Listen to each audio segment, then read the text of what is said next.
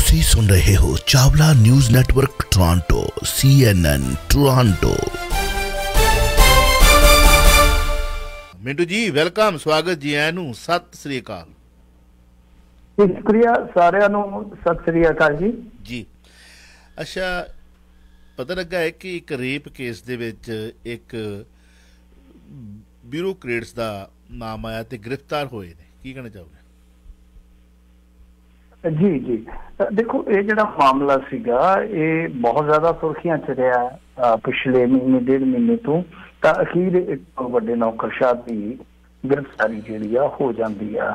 ਦਰਅਸਲ ਇਹ ਮਾਮਲਾ ਜਿਹੜਾ ਉਹ ਬੜਾ ਸਾਨੂੰ ਕਿ ਦਿਲ ਨੂੰ ਜਿੱਦਾਂ ਕਹ ਲਓ ਕਿ ਦਹਿਲਾਉਣ ਵਾਲਾ ਆ ਕਿ ਜਿਹੜੇ ਬਿਊਰੋਕਰੇਟਸ ਇਹ ਕੋਈ ਛੋਟੇ ਬਿਊਰੋਕਰੇਟਸ ਨਹੀਂ ਹੈ। ਆਪਾਂ ਜੇ ਕਹੀਏ ਕਿ ਕਲਰਕ ਨੇ ਬਾਬੂ ਨੇ ਜਾਂ ਤਹਿਸੀਲਦਾਰ ਨੇ, ਨਾਇਬ ਤਹਿਸੀਲਦਾਰ ਨੇ, ਐਸਾ ਨਹੀਂ ਹੈ।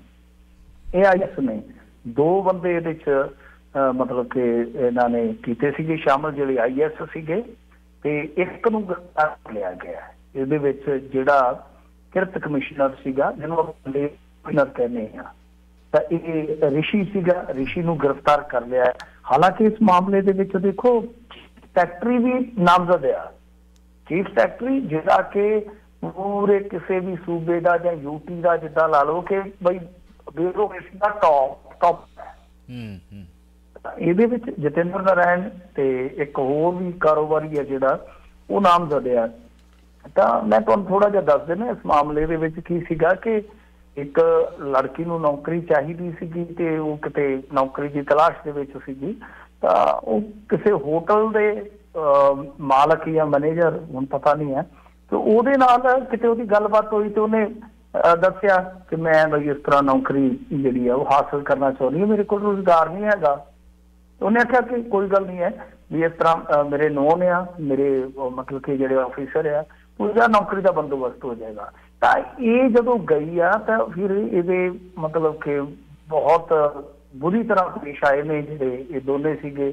ਇਹਨਾਂ ਨੇ ਅਹ, ਸ਼ਰਾਬ ਸ਼ਰੂਬ ਵੀ ਪਲਾਈ ਤੇ ਫਿਰ ਦੁਬਾਰਾ ਸੱਦਿਆ। ਫਿਰ ਉਹ ਕੁੜੀ ਨੂੰ ਮਤਲਬ ਕਿ ਇਹਨਾਂ ਨੇ ਸ਼ੋਸ਼ਤ ਕੀਤਾ।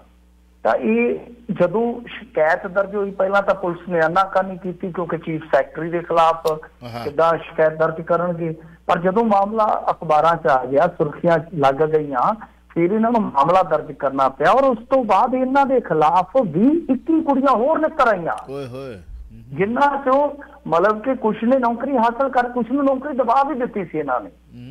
ਤੇ ਕੁਝ ਨੇ ਕਿਹਾ ਕਿ ਸਾਨੂੰ ਨੌਕਰੀਆਂ ਦਾ ਲਾਰਾ ਲਾ ਕੇ ਇਦਾਂ ਹੀ ਵਰਤ ਦੇ ਰਹੇ। ਹੂੰ ਹੂੰ। ਮਤਲਬ ਕਿ ਨਵੀਂ ਲੱਭ ਲੈਣੀ ਕੁੜੀ ਅਹ, ਜੇ ਜਾਂ ਤਾਂ ਪੁਰਾਣੀ ਨੂੰ ਛੱਡ ਦੇਣਾ ਜਾਂ ਉਹਨੂੰ ਨੌਕਰੀ ਤੇ ਚੜਾ ਦੇਣਾ ਇਦਾਂ ਮਤਲਬ ਕਿ ਉਹ ਦੋ ਦਰਜਨ ਦੇ ਕੇਵੇ ਮਾਮਲੇ ਨਿਕਲ ਆਏ ਸੀਗੇ।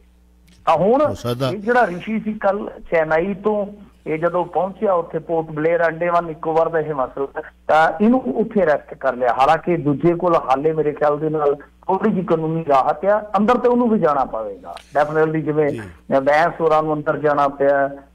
ਆਪਾਂ ਜੀਠੀਏ ਬਾਰੇ ਵੀ ਕਿਹਾ ਸੀਗਾ ਸਿੱਧੂ ਬਾਰੇ ਵੀ ਕਿਹਾ ਸੀ। ਮੇਰਾ ਮੰਨਣਾ ਕਿ ਜਿੱਥੇ ਮਰਜ਼ੀ ਭੱਜ ਲਵੇ ਜੀ। ਸਾਡੀ ਫੈਕਟਰੀ ਅੰਦਰ ਤਾਂ ਜਾਣਾ ਪਵੇਗਾ। ਪਰ ਇਸ ਘਟਨਾ ਨੇ ਪੋਲ ਖੋਲ ਦਿੱਤੀ ਹੈ ਕਿ ਚਾਹੇ ਕਿਸੇ ਵੀ ਅਹੁਦੇ ਤੇ ਕੋਈ ਬੈਠਾ ਹੋਵੇ ਜਦੋਂ ਵੀ ਉਹਦਾ ਢਾਲ ਲੱਗਦਾ ਹੈ ਉਹ ਬਗਿਆੜ ਬਣ ਜਾਂਦਾ ਹੈ ਤਾਂ ਇਸ। ਕਰਕੇ ਇਹ ਸਾਡੇ ਇੰਡੀਆ ਦੇ ਵਿੱਚ ਇੱਕ ਬਹੁਤ ਵੱਡੀ ਸਮੱਸਿਆ ਹੈ ਕਿ ਇੱਥੇ ਰਿਸ਼ਵਤ ਕੱਲੀ ਨੋਟਾਂ ਦੀ ਨਹੀਂ ਲਈ ਜਾਂਦੀ ਇੱਥੇ ਰਿਸ਼ਵਤ ਜਿਸਮਾਂ ਦੀ ਵੀ ਲਈ ਜਾਂਦੀ ਬਿਲਕੁਲ ਜੀ ਤੁਸੀਂ ਸਹੀ ਗੱਲ ਕਿਹਾ ਬਹੁਤ ਸਾਰੇ ਹੋਰ ਮਾਮਲੇ ਵੀ ਇਸ ਤਰ੍ਹਾਂ ਦੇ ਰਿਲੇਟਡ ਜੇ ਸ਼ੁਰੂ ਹੋ ਗਏ ਆਉਣੇ ਤਾਂ ਬਹੁਤ ਕੁਝ ਕੱਚਾ ਚਿੱਠਾ ਬਾਹਰ ਆ ਸਕਦਾ। ਚਲੋ ਖੈਰ 9058131320 905 813 1320 ਤੇ ਕਿਸੇ ਵੀ ਨੇ ਕਾਲ ਕਰਨੀ ਹੈ ਤਾਂ ਕਰ ਸਕਦੇ ਆ।